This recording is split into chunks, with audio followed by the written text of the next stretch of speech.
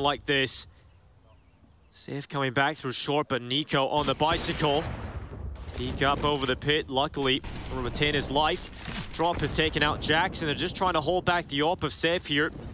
NiKo's Deagle goes again, but this time falls, and it's all on m0NESY. Can he close it? His teammates have set him up, and m0NESY to close. G2, they do it with their low buy, they do it with the pistols, and that's the back of Furia shattered. That's what we wanted to see. That is what we wanted to see from m0NESY right there. A big one-on-two situation, right? We talked about his lack of impact there over on Mirage. It's still early stages for him in Tier 1 Counter-Strike, but in a round where he should convert, he does stepping up in a big way right there.